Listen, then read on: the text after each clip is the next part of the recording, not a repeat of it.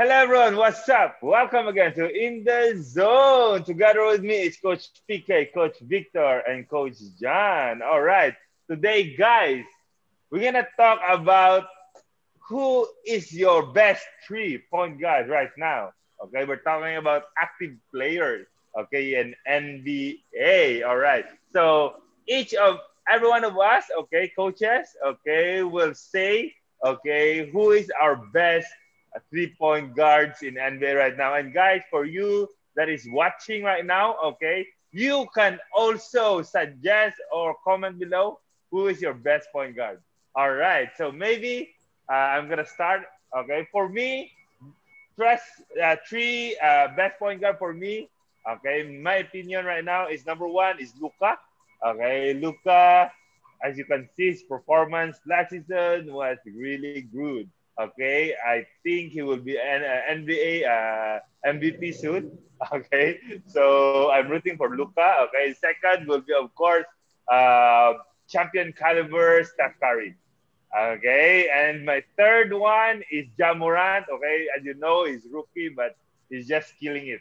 All right, so this is my best three point guard, active point guard right now in NBA. Okay, I'm gonna support more about it later. Okay, as we hear, okay, to other coaches.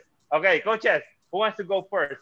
Who is your best three point guard? Okay, for point guards, my first criteria will be, you know, I'm more the traditional type of point guard where they are shorter than six foot four. So I will not, you know, consider uh, players like Luka, maybe LeBron, who are basically playmakers you know, who can function in, to, you know, to, to play in a variety of positions. So for me, the traditional three point guards will be third, Chris Paul, who has been playing for a, a, a, a few decades already. Okay, so few, you know, he, he has um, outplayed quite a number of young guards. And then, you know, um, especially in the last season, he has found his mojo again, you know, to lead the Thunder to the playoffs. So I find that, you know, and then he's uh, now with the Suns trying to inspire Devin Booker to greater heights. Second on my list will be Damian Lillard, the long shoot, long range shooter of the Portland Trailblazers. Okay, so he's dynamic, he can pass well, and he. The, the point about him is so far he has stayed with Portland. He has not gone, you know, ring chasing, move around, as much as he's a star player, and you hear a lot of star players after a few seasons of the, the team not doing well, they start to, you know, uh, have trade requests out there, trying to move around. So I respect him on that. And the top of my list will be Steph Curry, because I feel that he changed the game of, uh, you know, our, our con- concept, you know, of during playoffs, you know, championships. We, we, we used to think that, you know, we, teams cannot win just by relying on long range shooting. So I think the Splash Brothers, Golden State changed all our, you know, our perception. You know, you can actually win by shooting a lot of trees. Okay, that's when that, that, that's why Houston Rocket began, you know, shooting more trees than two sometimes. Okay, and then uh, Steph Curry, especially, he was the unanimous MVP in 2016. So that counts for something. And then I'm really looking forward to him coming back in the new season after the injury. Wow, strong lineup for point guard, Victor. Obviously, okay, there are championship caliber, every every one of them. All right. So next up will be Coach. Mine will be uh, pretty similar to Coach uh, Victor, but I have uh, my eyes on Trae Young. So I got Trae Young, I got Damian Lillard, and I got Luka. Okay. Yeah, Luka is more like a playmaker, but he's actually listed as a as a point guard. So uh, for me, he's a uh, probably the best uh, rising young star among um, the current crop of uh, guys like Ja Morant and all these. So, but I think um, these three are my pick for the top three point guards right now. But uh, of course, if uh, Steph is back, then uh, Trae, sorry, you have to take a back seat. Yeah, yeah. that's my choice. Yeah, I think uh, Stephen Curry is coming back. Yeah. Yeah. It's just so sad that uh, Klay Thompson is got injured. Okay, but I believe right. I, oh, ACL, ACL minimum um, six to one year. You know, yeah. recovery. Said one season. Uh, you already said. Yeah. Yeah. So it's around one season. I, I believe right because uh, I got a lot of teammates, you know, uh, been through ACL. So might as well, you know, uh, leave this season behind, okay, and then prepare for the next season. Because if he will force himself right, ACL is different. You know, uh, if you force yourself to play with that with that kind of injury, you just keep coming back, and then maybe you will lose two season on it. So one season is not bad. Okay, hopefully you can recover soon. Okay, go John. Let's go. Well, first of all, hi everyone. Uh, good to be back on the show. Um, um, pretty much can't go past. I don't think Steph Curry is the number one point guard when he's when he's on on the money. Um, I think as Coach Victor said there, you know, it's he's changed the game a lot as well with the the fact that he's such a shooter and such a playmaker as well. And my other two, I'm going to go with some young guns as well, and similar to some of the other some of you guys. I think Damian Lillard, Lilliard's becoming a great point guard, and um, I think Morant's going to be the one to watch in the future. Uh, so they're my three. Um, no particular reason or order for those three as well. I think again, Curry's Curry's probably the number one, and the other two are, you know, pretty similar, um, but they're both up and comers, of course. Um, I mean, Lilliard's been around for a little bit longer, but he, you know, he, he's showing that he's going to be a force in the future.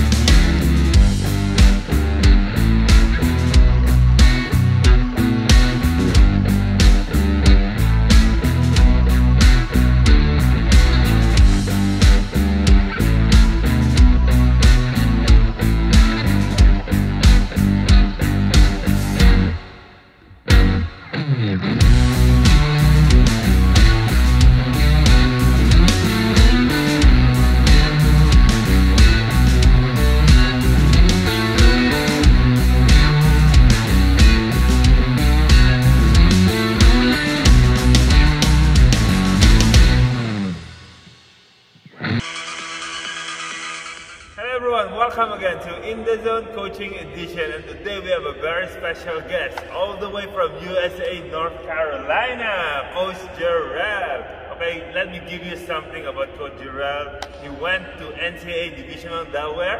Okay, the USA is big time guys. Once you go to NCAA Division 1, this is only one thing. Okay, you are compatible or you can go to NBA. But Coach Jerel, of course, choose to play overseas. Okay, Coach Jerel, uh, hello, how are you? Anything to say before we start? I'm doing good. Uh, glad to be back in Singapore another year. Um, so, you know, with everything going on with COVID, I was able to come back. So I'm, I'm excited. Yeah, as you know, guys, uh, Coach Jerel just came back from US, okay, because of COVID. Okay, actually, he is delayed for so long. Okay, since now, welcome back, Coach Jerel. Okay, Coach Jerel, we want to know more about you. Okay, after we all know NCAA Division One in US, okay, uh, but we want to know after that. Okay, we know that you went uh, overseas, Europe, uh, Australia, and Singapore. Okay, can you tell us more about the first go to the first one is uh, Australia. Okay. Uh, my first coming out of coming out of college, my first job was in Austria, Mhm. um, and then things didn't work out, and then I played with the Harlem Globetrotters for 3 Mhm. months. Uh, Harlem it. Globetrotters. Yeah, I got, Wow. to, I got to play with them. Uh, the team that plays against them, that travels with them for three months. Um, it was cool. Uh, it's a show, so it kind Yeah, of yeah, wasn't my. But it was good. I got to see the world a little bit for three months, and then I found my way to Singapore. And after Singapore, man, things just started going up for me. I, I left Singapore, went Mm-hmm. to Australia, left Australia, went to Italy, Mhm. left Italy, went back to Australia, came here and played, then went back, to, then went to Slovakia, and then I found Wow. my, then I found my way zone. Since 2013, Yeah. you've been all over the world. Yeah. wow, and now he's a full-time coach, okay, of the number one, okay, uh, training facility and training uh, uh, company, basketball training company in Singapore. We're the biggest right now, okay. Coach Jerel is with us, okay. Of course, he's helping with the elite players. Okay, guys, if you want to be trained by Coach Jerel, very simple. Just call SG Basketball and then look for Jerel. He will be available to you. Okay, so Coach Jerel. Okay, we want to talk about your playing experience, right? So, um, aside from NCAA, because of course NCAA is, is there, is the highest. Okay, what is the next highest and then the most uh, uh, challenging part for you while you're still playing? Um, the challenging part is just staying in shape. I mean, you never know, you never know when you get that call to, Uh-huh. to go play. But I try. I always take bas- basketball seriously. Mhm. That's the biggest part. What you put in is what you get out. That's what, and that's what my college coach always would tell me. Mhm. Whatever you put in is what you get out. So you know, if you don't put that much work in, you Yeah. won't see results. So it's a different story when you are playing pro internationally. Yeah, yeah, yeah. It, it, it, I mean, it's, it's totally different. You know, you don't play up to par. They send you home. Wow, So that's the challenging part. it's a big pressure. Yeah, it's a big pressure for real. So if you do your job, keep your job. If Uh-huh. you don't, it's another person that's waiting to take spot. wow. How many years did you play uh, professionally uh, overseas? Would say seven, probably seven years. Seven years, and then you settled in Singapore to become a coach. Yeah, yeah, yeah. And you know, I, I, I, I coach. I love doing training, especially with the kids that have goals to make it.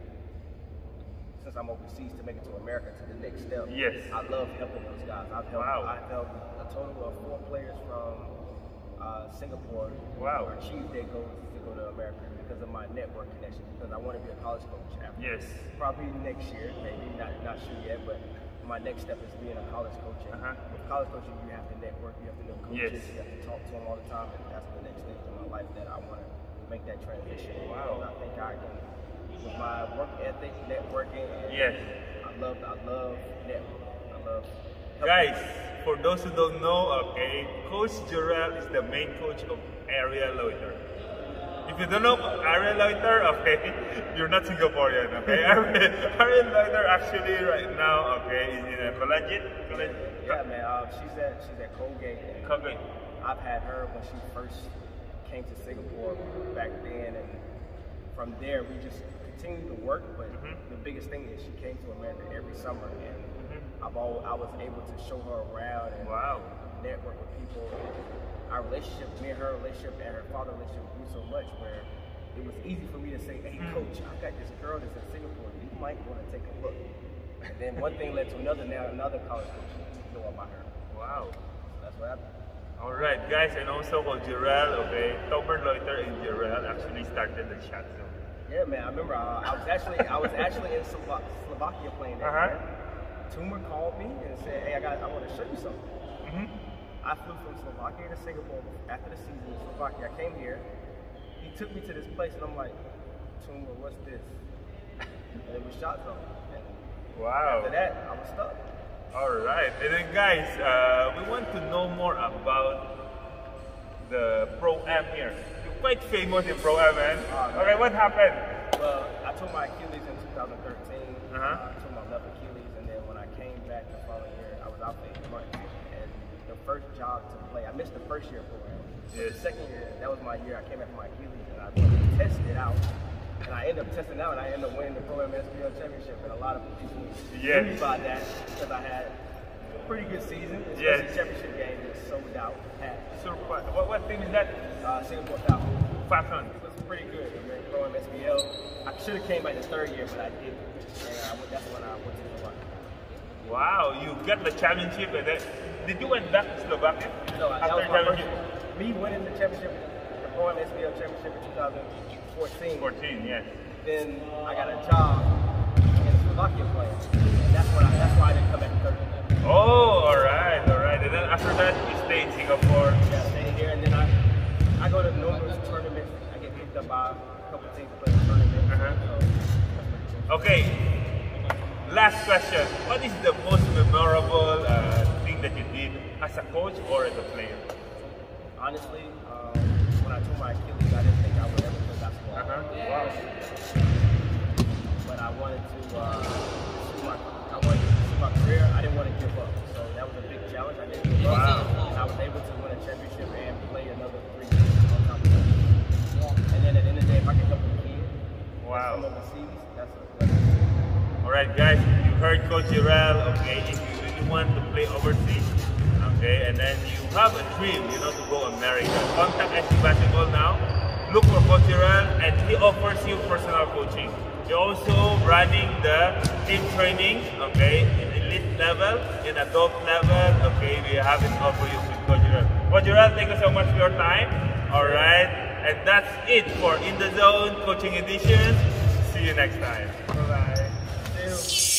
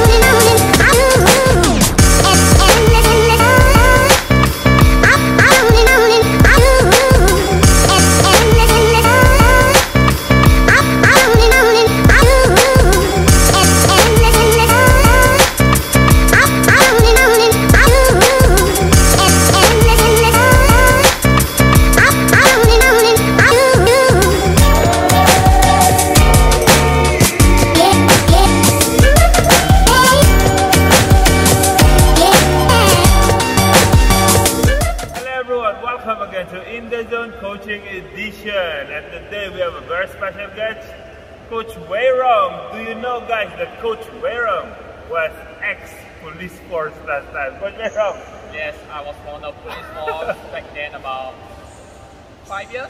five years ago. Alright, I'm so curious, what made you, you know, to change career, to become a basketball coach? Uh, okay, being a policeman is not uh, easy, Uh-huh. and rather rather than that, um, it's kind of like not re- not really something that I want to do for Alright. the rest of my life. So I decided to do something that I really love, Uh-huh. yeah, which is basketball. So I tried to do part time with APS, uh, APSM and with Grizzlies for about maybe half a year. Uh-huh. Yeah, then I decided to, to join them for full time. Time, alright, in chat zone. Yes. Yes. Oh wow. So your passion is really basketball. Yes. Okay. Then now you are living your passion and then you're working your passion, which is I'm sure you enjoy it. Of course. All right. So talking about basketball, coach.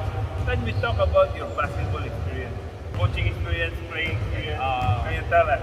Okay, so basically I started only playing when I was in secondary three, I Uh-huh. guess, about 15. Uh-huh. Yeah, about 15. So I played about one and a half years, then Uh-huh. I get into school team. Uh-huh. Then after that, I didn't really play for the school. I, I went on to ITE. Uh-huh. Then I didn't really play because the schedule was a little bit um, here and there. So Yes.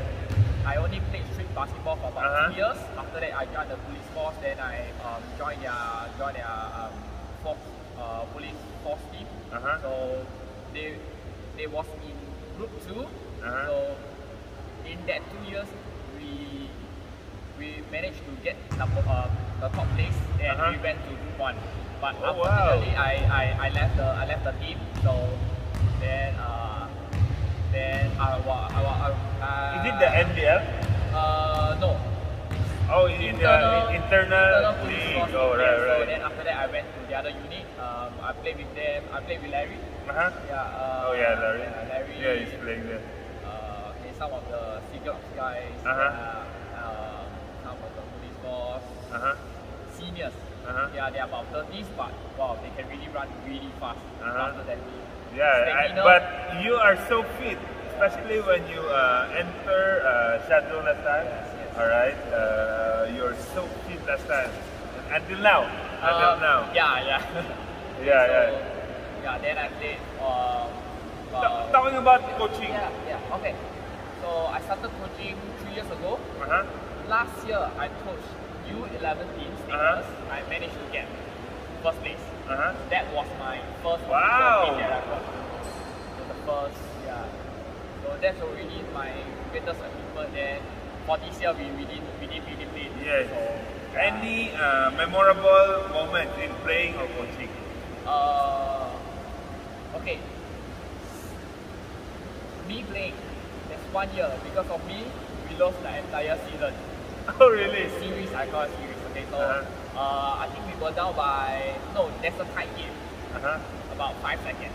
Yes. My opponent drive, I wasn't in place, hands up, beat, foul. Opponent get two free throw, end of the game, lost by one because of me. yeah.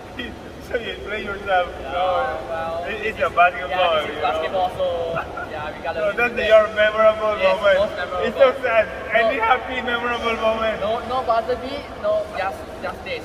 This is a very hard lesson for me. So. All right. So it's a memorable lesson for you. Yes. All right. It may not be very good, but it's something that worth.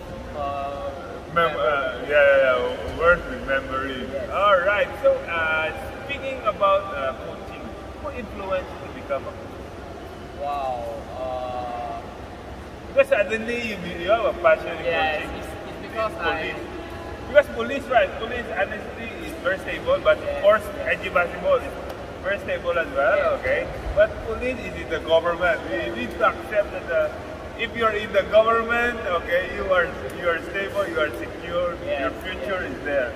So, yes, Okay, uh, actually, just just me. I just wanted to try something new. Uh-huh. Um, so I decided to take up part time first with Uh-huh. APSM, then uh, Coach Dean and Coach Irish Uh-huh. was guiding me throughout Yes. that half a year, one year. Uh-huh. Then I started to gain a little bit more interest, seeing kids improve. Mhm. Yeah, that's that's the most important thing that I that I. Wow. So I mainly Coach Lin and Coach Iris influence Yes. you and then give you a break, you know, to become yes. a coach. Okay, for those who are uh, kids or uh, players that want to be a coach, what what advice that you can give? First, to become a player, and then second, how to become a coach. being a player is rather than I should say easy Uh huh. compared to a coach. Uh-huh. Coach, you have a lot of things to think about. Uh huh. what's the play, what's Uh-huh. your what's your player skill, Uh-huh. and and their well-being also your Yes. responsibility. Yeah. So if you are willing to take up that responsibility, then Uh-huh. maybe you can you can start trying to do part time with us. Yeah. Then Wow. Then you can And from there. more experience from there. Yeah. Okay. All right, Coach Weirong. Uh, any uh, golden nuggets of advice? Uh, anybody out there wants to become a uh, player, to become a coach? Go. First of all, we have to love basketball. That's the most important thing. Yeah. all right, all right. Coach Weirong, thank you so much for your time. thank you. Okay, guys, you heard more about Coach Weirong. You know him more now today better because of In the Zone Coach's Edition. And that's for it for today. See you next time. Bye bye. It is amazing what Steph Curry can do with a basketball. Fires a three. Oh, he puts it in. The brilliant shooting of Stephen Curry continues. I am guilty as charged. Way downtown. Bang! Bang! Oh, what a shot from Curry! Spectacular move. I have disturbed the peace, agitated and provoked, Think big, dream big, have confidence in yourself. aided and abetted. I am not alone. There were others before me. The water can flow or it can crash. I was not thinking about a career in golf. I was thinking about survival. Trespassers, instigators, disruptors of the status quo. There are those who will try to dismiss us, reject us, and ignore us. But the ones who are ready to change the game for good will join us. I am just an icon living.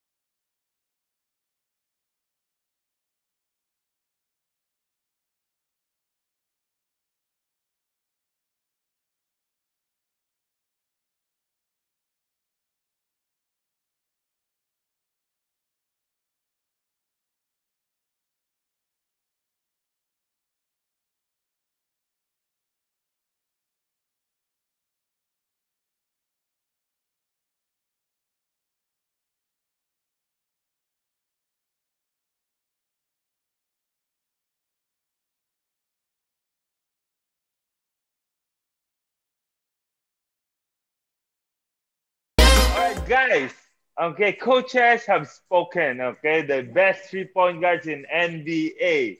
Okay, who is yours? Guys, you can comment below who is your best three-point guard right now, or you can vote, okay? These are three, uh, our uh, choices of point guard. You can just vote one, two, three, four, okay? And let's see uh, what will happen. All right, guys, looking forward so much on your vote or your best three point guards. Okay. So, guys, that's for In the Zone. Thank you so much and see you next time. Bye bye. Bye. See you, everyone. Good to see you guys.